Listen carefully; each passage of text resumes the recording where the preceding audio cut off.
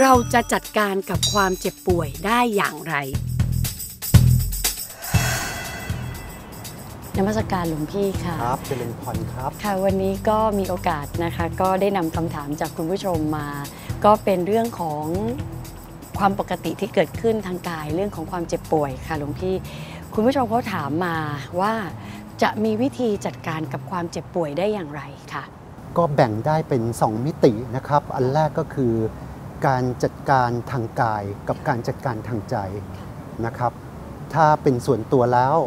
จะเลือกจัดการทางใจ ก็คือว่าดูแลจิตใจให้เรียบร้อยก่อน เห็นว่าความเจ็บป่วยเหล่านี้เนี่ยเป็นเรื่องปกติ คือความทุกข์ทางกายกับความทุกข์ทางใจค่ะเรามีสิทธิ์ที่จะเลือกทุกข์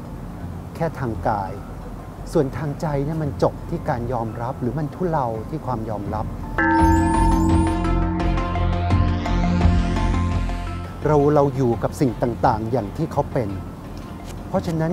ทุกกายรักษาไปทุกใจยอมรับ ทางใจแล้วคือการกำหนดทีท่าต่อตัวโรคและการรักษาค่ะครับมันเหมือนกับถ้าเราผรีผามนะครับ รู้สึกเดือดร้อนใจจริง ๆ แล้ว ถ้าโรคภัยไข้เจ็บนั้น รักษาได้เราก็ทุกข์ฟรี รักษาไม่ได้ก็เป็นการเพิ่มความทุกข์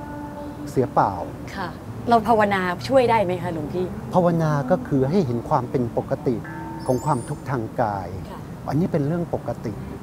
อยู่กับเขาให้เป็นแล้วก็ดูแลเขาให้เป็น ค่ะ วันนี้ต้องขอบพระคุณหลวงพี่นะคะ เรามาสรุปกันอีกครั้งนะคะ เมื่อเกิดความเจ็บป่วย เราควรจัดการใจของเราก่อน ว่าความเจ็บป่วยเป็นเรื่องปกติของมนุษย์ เมื่อทุกข์กายก็รักษากันไป ส่วนทุกข์ใจ ให้ยอมรับในสิ่งที่เกิดขึ้นค่ะ อย่าลืมนะคะ ถ้าคุณรู้สึกว่าหนักข้างในใจนะคะ อยากจะให้เราช่วยแบ่งเบา คุณสามารถไลน์มาได้ที่ at s u n m o k underscore bangkok หรือว่า Facebook หอจดหมายเหตุพุทธทาสนะคะ อะไรที่อ้อมพอช่วยได้อ้อมก็ยินดีจะช่วยค่ะ